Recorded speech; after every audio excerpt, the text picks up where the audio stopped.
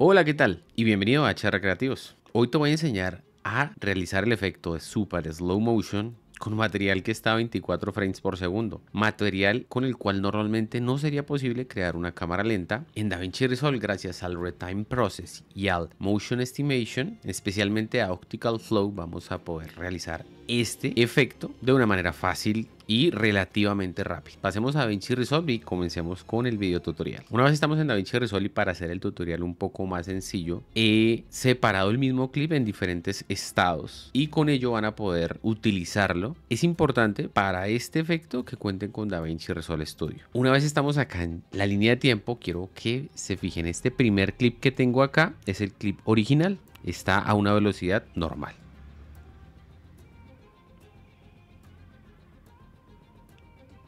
Y tengan en cuenta que este clip está a 23.97 frames por segundo.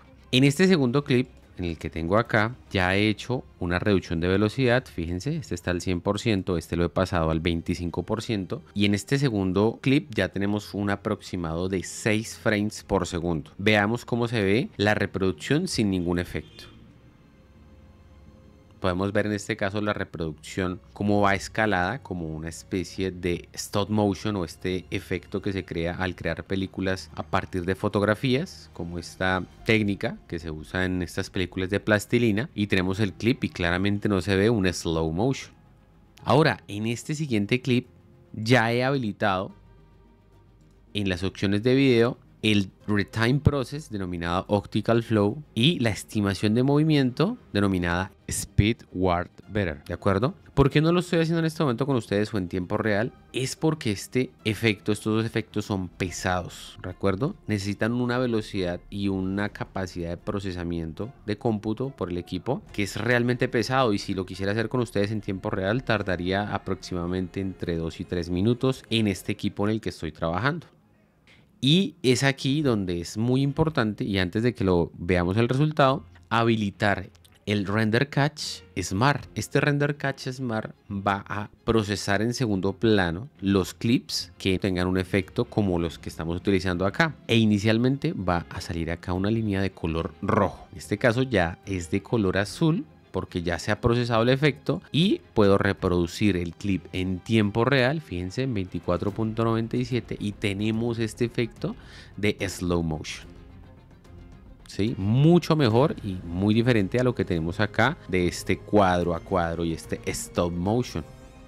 Y antes de continuar, no olvides, puedes reservar clases personalizadas conmigo. El link para reserva está disponible en la descripción. Continuemos. Por último, acá en este clip que ustedes ven acá, yo ya apliqué la segunda opción que tenemos para poder utilizar este efecto y poderlo ver en tiempo real, como lo ven acá, y es hacer un uso de la opción denominada Render in Place. Fíjense que este ya tiene un nombre denominado Render 1. Y si yo quisiera hacer lo mismo con este clip para que los cambios que yo haga al clip no afecten y no hagan que se vuelva a cargar este Render Catch, puedo darle clic derecho y fíjense en esta cuarta opción denominada Render in Place. Le damos clic acá. En este caso y en este punto utilizaría el codec DNX HR. Si ustedes trabajan en un equipo Mac, les recomiendo utilizar Apple ProRest. Y en el tipo estoy utilizando el DNX HRSQ. Me parece suficiente para el clip que estoy utilizando en este momento. Importante activar, porque esta última opción no está activa por defecto, renderizar a la resolución de la fuente. Ya que si por ejemplo este video estuviese en 4K, pero mi línea de tiempo es Full HD,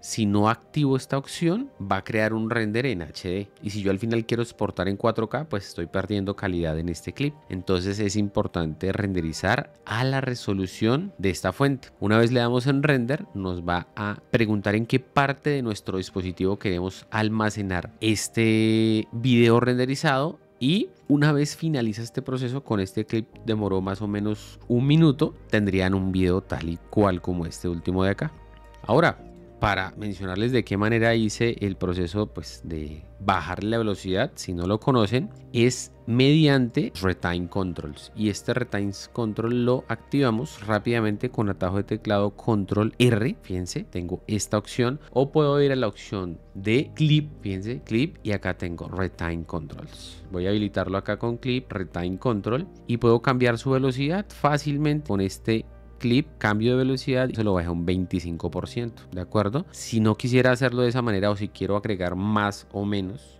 puntualmente, puedo seleccionar acá en la parte de arriba, justo acá, no acá abajo porque acá recorto el clip, acá en esta parte de arriba y fíjense que en este caso cambio la velocidad, aquí está un 43% o si lo bajo aún más podría colocarlo por ejemplo en un 20%, entonces tendría aún menos frames por segundo y se vería de esta manera.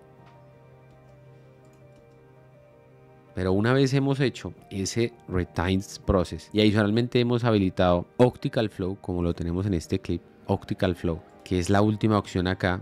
Y adicionalmente el Speed Warp Better, que es la opción de estimación de movimiento que utiliza inteligencia artificial y que es más detallada, pues este es el resultado final de este proceso. Y bueno muchachos, de esta manera tan sencilla es como podemos crear estos super slow motion con clip que no están grabados o dedicados para este efecto. Importante mencionarles que si tienen elementos que tengan un movimiento aleatorio muy fuerte, quizá en este caso el cabello, allí podríamos tener alguna serie de artefactos, pero en este caso da un resultado muy bueno. Si quieres seguir aprendiendo más sobre DaVinci Resolve, mira uno de los videos sugeridos y no olvides suscribirte al canal.